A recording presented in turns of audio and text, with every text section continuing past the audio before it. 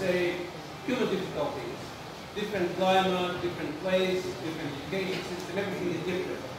But uh, at the same time, they are facing difficulties to find appropriate programs which are smoothly merged with their previous education.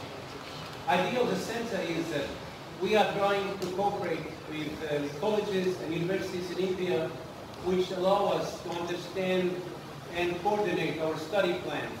The students after graduation from Indian institutions can freely move to European system of education.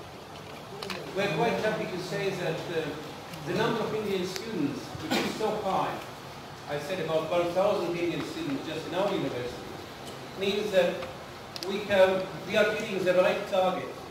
The students get know what India needs the most. Engineers, IT specialists, specialists in aviation, in electronics, and that's exactly what we can provide. So I'm quite happy to see that this new center will provide a lot of opportunities for further development of our relationship. And I would like to express my thanks to our partners here in Chennai, and we are quite, uh, I think we are quite uh, sure that we will cooperate on a very good level.